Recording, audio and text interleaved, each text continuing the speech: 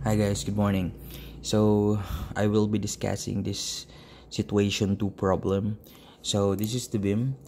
Um, well, uh, please take note of these values because later we will not be having these values for we will be going to the next slides. Now these are the elements of the beam that are uh, needed to be solved.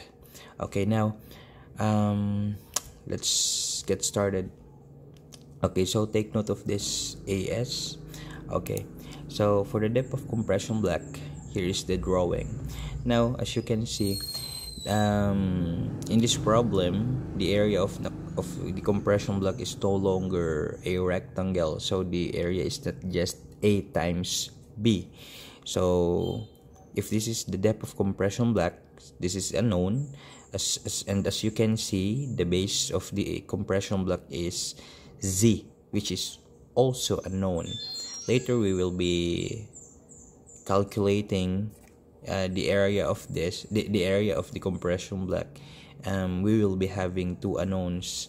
Um, let us just make the expression uh, has let us make the expression to have only one unknown variable. So let us go let us get the relationship between a and z. So to do that uh, let's do similar triangles. So let us take base is to height. So referring to this smaller triangle then referring to the larger triangle or the entire beam base 400 then height um, total of 600 So simplifying, we can say that z is equal to to to two thirds of a. Oh, all right. Now let us take summation of forces horizontal uh, equals zero. So because the beam should be in equilibrium condition, even it is subjected to two forces. Okay directed to the left equals directed to the right. So therefore c is equal to t. Then we know that forces are equal to stress times area. For the stress of concrete it is 0.85 f prime c. Um, by the way class that 0.85 f prime c was the equivalent rectangular or uniform stress uh, that was proposed by Charles Whitney. Okay, so this is the stress of the beam, then the area of the compression block, one half base times height, so area of triangle. Then for the T, the tensile strength of the beam, the stress is Fs, the area is As. Uh, As is is 432 mm diameter bars, right? Okay, so let us simplify. Let us replace z by its equivalent expression in terms of a. Then simplify again. Cancel this this 2. Therefore, we can see that the area of the compression block has a final expression of a squared over 3. Alright. Now, assuming that it still yields, therefore Fs is is greater than fy or fs is equal to fy whatever happens the the fs to be used should be fy okay so this stress is now in fy substituting the values so we have the f prime c a while ago as well as the fy and the and this is the 432 mm diameter bars. Okay therefore the only unknown is a. Therefore we can have this a.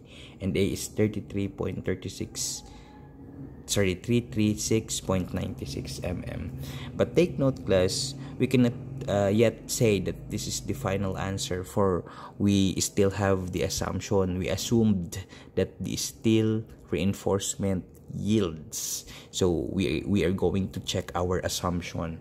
So to to check the assumption we need to get the true value of fs. So to do that we should have this the value of the c.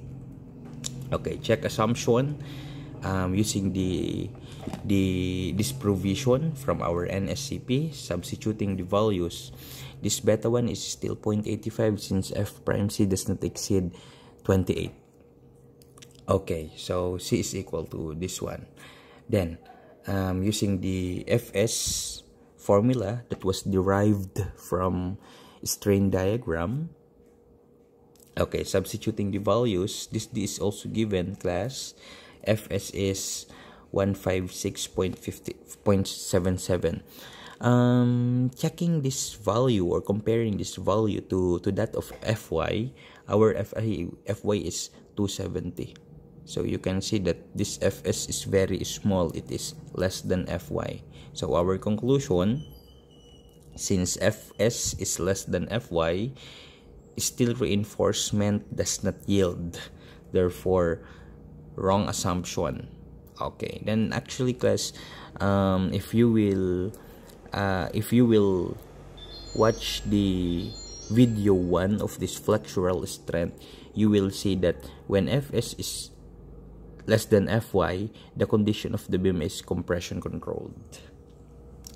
Okay so class since we are wrong we are we we we have here a wrong assumption calculation we need to recompute. Okay recompute c equals t. This is the final expression. Then re-express again replace a by its equivalent expression in terms of c okay beta 1c this is the beta 1 class. Then for the fs this is the expression. Okay so all values are available except for the c. So we can obtain the c using using actually this is a cubic equation. Okay so c is equal to 363.02 then after having the c uh, if we are after with a let us just multiply it by beta 1 okay. And uh, this is now our a uh, equal so our a now is equal to 308.56 all right. Um let's have the the the next value to be solved. Okay the compressive strength of concrete. So this is equal to c so stress times area. The stress is 0.85 f prime c. The ac is a squared over 3 so substituting the values this is our problem. this is our um, value. By the way class i noticed an error in here. Uh, the f prime c is 27 no? So this should not be 21 okay by the way let me check this one okay so calculating 0.85 f prime c 27 then a 308.56 squared over 3 all right so we are still correct. So this is just a typographical uh, error uh, typographical error. Okay all right so let's go back with our calculation. Okay so to have the moment capacity of the beam class um, you said a while ago that that the moment is equal to force times distance. So the force could be c or t. Uh, let us just choose between these two since they are equal.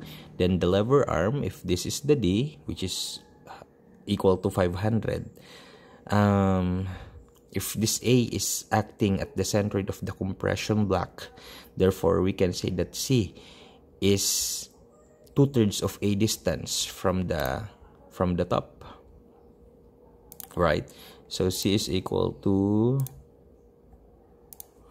to sorry, C has distance of two-thirds of A from the top, from our geometry knowledge. So the lever arm in here is D minus two-thirds of A. Alright. Okay, so how about the reduction factor class? Well, we know that our Fs is behind Fy. So in our graph, the point is uh, some somewhere in here and since we fall under this this portion therefore we can say that we that, that the beam is compression controlled condition. So if we are going to read the graph, the reduction factor is 0.65. All right. So the reduction factor is 0.65, the C value, which happens to be the T value also, the D as well as the A. Therefore, we have the value, the final answer 139.33.